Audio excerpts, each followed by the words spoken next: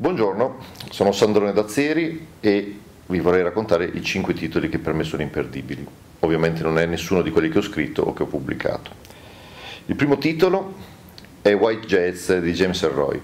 È un libro che fa parte della quadrilogia di Los Angeles, ambientato più o meno intorno agli anni 50,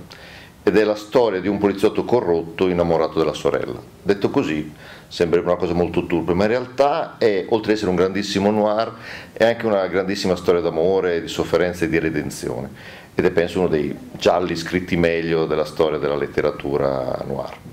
Il secondo titolo, e rimaniamo sempre nel campo del noir, è Il grande sonno di Chandler, Raymond Chandler, ed è eh, uno dei titoli fondatori di quello che si chiama il noir moderno, anche se è stato scritto parecchio tempo fa, subito dopo la guerra ed è il romanzo con cui si presenta un investigatore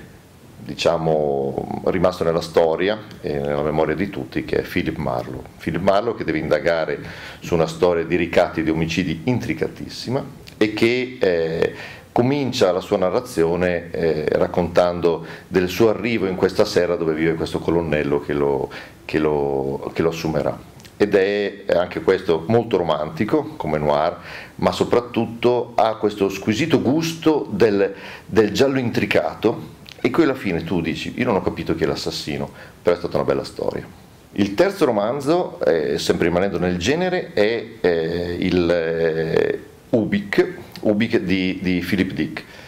Philip Dick è stato uno scrittore molto saccheggiato soprattutto al cinema e oggi è considerato un autore di culto ma fino a una ventina di anni fa era considerato uno, uno scritto rucolo. In realtà Philip Dick ha scritto alcuni dei romanzi più visionari della storia della narrativa. In Ubik si racconta la storia di un personaggio che eh, scopre di essere morto e di non saperlo perché vive una sorta di ibernazione dopo un incidente e vive in un mondo dove accadono cose strane e si rende conto che queste cose strane sono in realtà i messaggi che dal mondo dei vivi arrivano a lui nel mondo dei morti. Era molto complicato, ma è in realtà molto divertente da leggere, anche un po' angosciante. La cosa importante è che Dick eh, riesce a farti capire che il mondo attorno a te non è eh, come lo stai immaginando o pensi di vederlo, è qualcosa di molto differente e forse non riesci a capirlo. Il quarto romanzo è eh, Mr. Vertigo di Paul Auster, siamo usciti dal genere, eh, Paul Auster è uno dei grandi narratori americani contemporanei, è un grandissimo scrittore,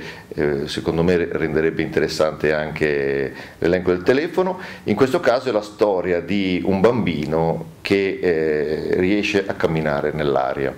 La cosa divertente è che da questa premessa fantastica eh, raccontiamo un pezzo della storia dell'America, perché questo bambino poi diventerà vecchio e smetterà di volare ma farà tante altre cose ed è una storia struggente come spesso le storie belle di Paul sono, ma è anche una storia di una grandissima immaginazione e di grandissima capacità, capacità narrativa. Quinto romanzo imperdibile,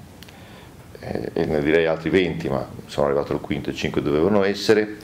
è eh, Il fallo delle vanità di Tom Wolfe. Tom Wolfe è un, uno scrittore poco apprezzato in Italia, considerato un po' palloso, un po' strano, poi si veste sempre di bianco, eccetera, eccetera, eh, ma è, è, stato capace di raccontare alcuni periodi della storia eh, americana in un modo mirabile. Il, il Foro delle Vanità eh, racconta la caduta di un broker di Wall Street che eh, per un incidente di cui sostanzialmente non è responsabile vede la sua vita finire a rotoli. E insieme con questo tante altre cose, ma è la descrizione di un mondo dell'alta borghesia americana, un mondo che poi ritornerà ribaltato di segno nell'altro grande romanzo di Tom Wolfe che è Un uomo vero.